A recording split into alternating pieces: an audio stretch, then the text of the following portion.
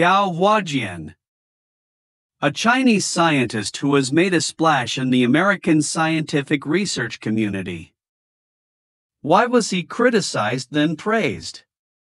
Why did he become a U.S. citizen but dedicate himself to China?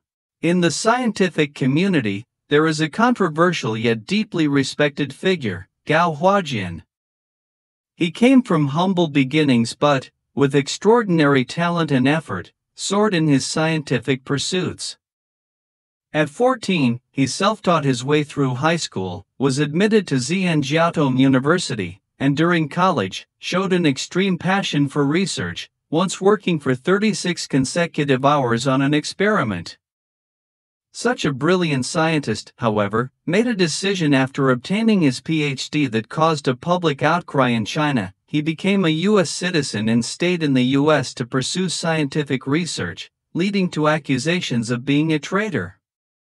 But what is little known is that for the next two decades, on American soil, he quietly cultivated China's scientific and technological endeavors, nurturing and sending a large number of top talents back to his homeland in his own way, becoming a crucial behind the scenes force driving China's technological development.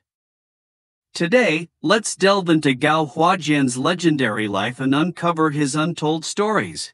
In the following main text, we will deeply explore Gao Huajian's growth journey, the context behind his difficult choices, and the profound impact of his contributions on China's and even global scientific development. At the same time, we will compare relevant cases and data from other countries to more comprehensively demonstrate the value and significance of Gao Huajian's actions. Gao Huajian was born in 1963 into a poor family in Chengdu, Sichuan. In an era of scarcity, his parents, despite their difficult lives, had a deep understanding of education and spared no effort to create conditions for Gao Huajian to study.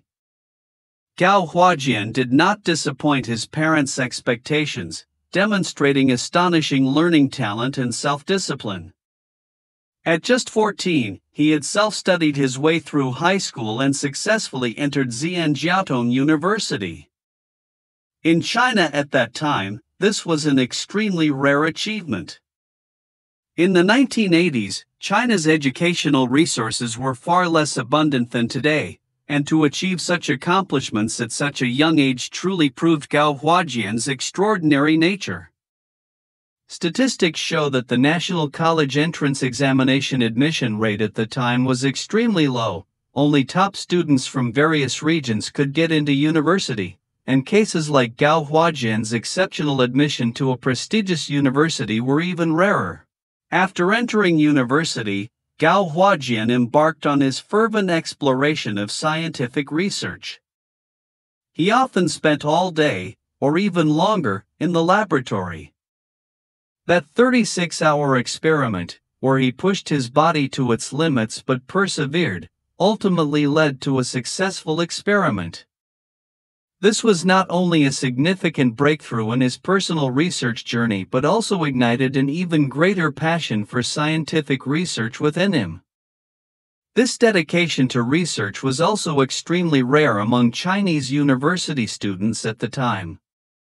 In China, due to limited research conditions, many students, despite their enthusiasm for research, were often restricted by factors such as equipment and funding. However, Gao Huajian, through his own efforts, maximized his talents under limited conditions, laying a solid foundation for his future advanced studies. From this, we can see that Gao Huajian's love for scientific research was pure and not overly constrained by external conditions. His ability to persevere in pursuing scientific truth in difficult environments is commendable in any era and any country. This also laid the groundwork for his future prominence on the international scientific stage. Often, a person's success is not accidental. These early experiences shaped Gao Huajian's tenacious research qualities, enabling him to bravely face subsequent challenges. After graduating with his bachelor's degree, Gao Huajian's mentor recognized his immense potential in the field of scientific research and suggested he pursue advanced studies abroad. At that time, there was a clear gap in scientific and technological fields between China and Western countries, and studying abroad became an important way for many outstanding students to improve themselves and accumulate strength for the nation's scientific and technological development. Gao Huajian followed this trend and decided to pursue further studies in the United States. With his solid professional knowledge and excellent abilities, he was successfully admitted to Harvard University. This news caused quite a stir in the domestic academic community. It is well known that Harvard University holds an extremely high academic standing globally, and being admitted there was a great affirmation of Gao Huajian's abilities. Compared to domestic universities at the time, Harvard University possessed more advanced research equipment, richer academic resources, and a more open academic atmosphere. In the late 1980s, domestic university research equipment was relatively old, many experiments could not be carried out, and academic exchanges were also relatively limited. Harvard University, on the other hand, gathered top scholars and excellent students from all over the world, with frequent academic exchanges and a wide range of research fields. Gao Huajian's arrival there was like entering a treasure trove of scientific research, giving him more opportunities to access the world's cutting edge research concepts and technologies. This step was crucial for Gao Huajian's scientific career. He quickly adapted to Harvard University's open and free educational model, obtaining his master's degree in just two years, a speed that ranked among the best in Harvard's history. This fully demonstrated Gao Huajian's strong learning and adaptability, his ability to quickly absorb new knowledge and transform it into his own strength, accumulating rich knowledge for subsequent research work. From the perspective of international education, different countries' education systems have their own strengths and weaknesses, and Gao Huajian's ability to achieve excellent results in different educational environments also provides a good example for future students, proving that as long as one has the ability, they can shine regardless of the educational system. At the same time, this also reflected the importance of studying abroad for Chinese students to improve their research capabilities at that time. By connecting with international standards, they could rapidly improve their scientific research level and inject new vitality into the nation's scientific and technological development. After completing his master's degree, Gao Huajian was not content, his goal was to reach the highest peaks of scientific research, so he decided to continue pursuing his doctoral degree. Doctoral studies are extremely challenging. In the United States, it takes an average of five to six years to complete the degree, but Gao Huajian successfully obtained his doctorate in just four years, at the young age of 25. This achievement caused a sensation in the American scientific community and became a legend. In the international scientific research field, doctoral level study is not just about accumulating knowledge but also a deep test of research and innovation capabilities. To complete a doctoral degree in such a short period and achieve excellent results indicates that Gao Huajian possessed unique insights and innovative thinking in scientific research. Compared to the talent cultivation models in other countries, the American doctoral training system is renowned for its rigor and high quality, and Gao Huajian's ability to stand out in this system is a testament to his strength. This also laid a solid foundation for his subsequent standing in the American scientific community.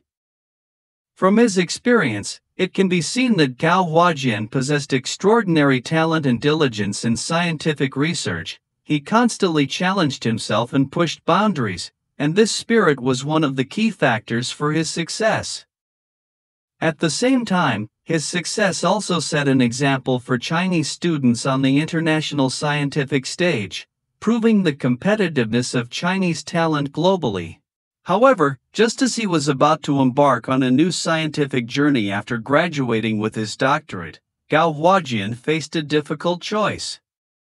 He loved scientific research and had excellent research conditions in the United States, advanced laboratories, ample research funding, and top research teams. But he also felt immense gratitude towards his homeland, which was at a critical juncture of technological development and urgently needed a large number of outstanding scientific research talents. This choice was undoubtedly painful for Gao Huajian. In the international environment at that time, there was a significant technological gap between China and the United States, with the US leading in many fields. For researchers, superior research conditions often meant the ability to achieve more scientific breakthroughs. Many international students, when faced with such a choice, opted to stay abroad. According to relevant statistics, the return rate of Chinese students studying in the US at that time was not high, and a large number of talented individuals were lost to the United States and other Western countries. Gao Huajian ultimately decided to join American citizenship and stay in the United States to engage in scientific research, a decision that immediately caused a huge uproar in China. The Chinese public found his actions incomprehensible and widely accused him of being a traitor. People believed that the nation had nurtured him, yet he chose to serve the United States, seeing this as a betrayal of his homeland. From an emotional perspective, the public's reaction is understandable, as in the general perception, returning to one's home country after completing studies is a matter of course. However, from Gao Huajian's perspective, his heart was also filled with struggle and pain. He was not unpatriotic, but in the circumstances at the time, he believed that he could better develop his scientific career in the United States and perhaps contribute to his homeland in another way. This incident also reflected the difficulties China faced in attracting talent back home at the time, Compared with Western countries, China had a significant gap in research conditions and remuneration, which led many outstanding talents to choose to stay abroad in the face of foreign temptations. But Gao Huajian's story did not end there. He proved through his actions that his love for his homeland never changed. For over 20 years in the United States, Gao Huajian outwardly was a thriving scientist in the American scientific community, but his heart was always with his homeland. He mentored more than 20 PhD students and hundreds of master's students, and during their training, he strongly encouraged these students to return to China after graduation to pursue their careers. He deeply understood that China's technological development needed a large number of outstanding talents, and his resources and standing in the United States could help cultivate a cohort of top scientific researchers for his homeland. These students, after returning to China, made significant contributions in their respective fields, becoming important forces driving China's technological development. For example, his student Wang Xiang played an important role in the aerospace field after returning to China, participating in the docking missions of Tiangong 1 and Shenzhou 8. Additionally, six of his students received funding from the National Science Fund for Distinguished Young Scholars, achieving significant accomplishments in high tech fields such as aerospace aerodynamics and solid mechanics.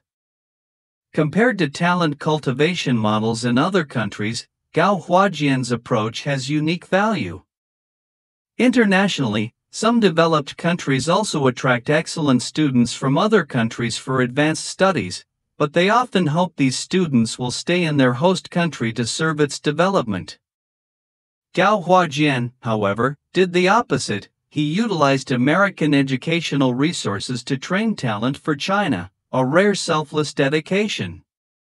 From the perspective of China's technological development, these returning overseas talents brought back advanced scientific concepts and technologies, filling gaps in certain domestic fields and greatly promoting the improvement of China's technological level. They became the backbone of China's technological development, enabling China to quickly catch up with world leading levels in areas where it was once lagging. Gao Huajian's cultivation model paved a new path for China's technological development and provided a valuable reference for other researchers overseas.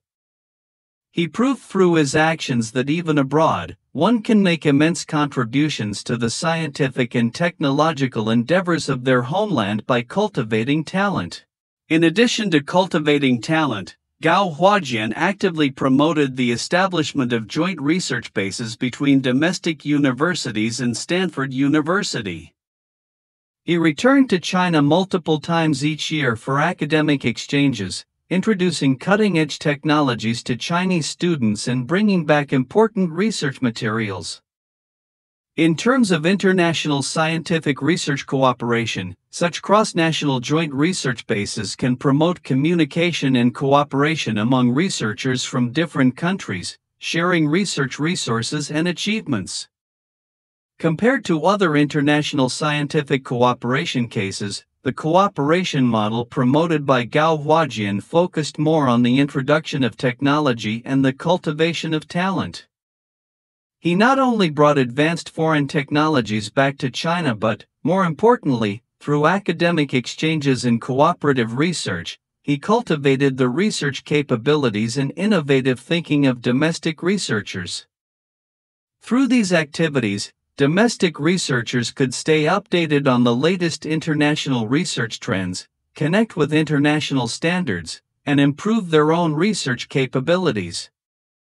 At the same time, Gao Huajian also guided many domestic students to achieve important results and return to China for development, further promoting the progress of China's scientific and technological endeavors.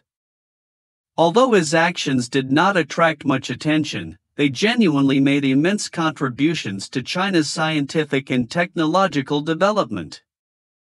He acted as a bridge, connecting the scientific research fields of China and the United States, introducing advanced American technologies and experiences to China, and injecting new vitality into China's scientific and technological development.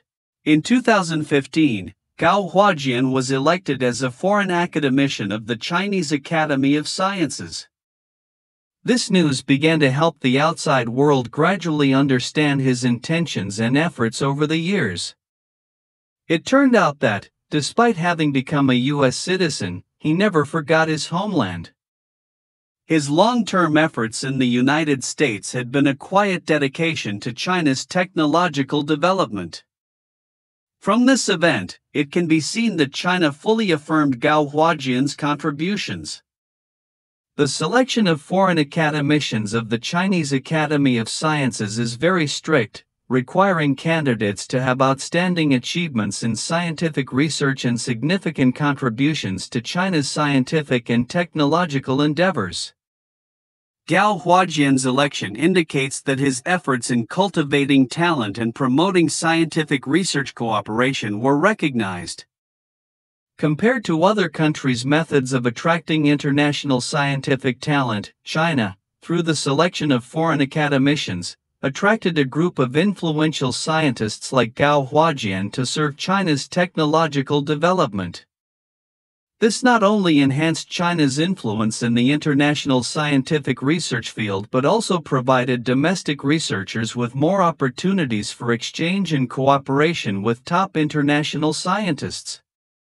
After being elected as a foreign academician, Gao Huajian further strengthened his ties with domestic research institutions, playing an even greater role in promoting Sino US scientific research cooperation.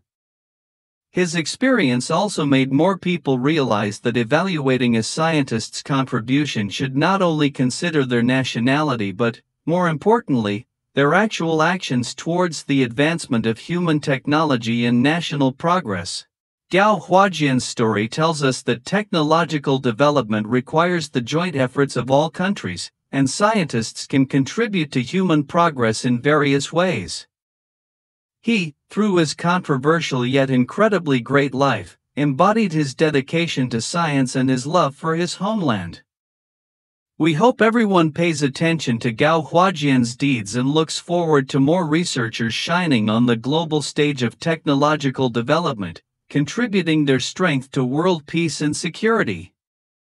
Thank you for reading.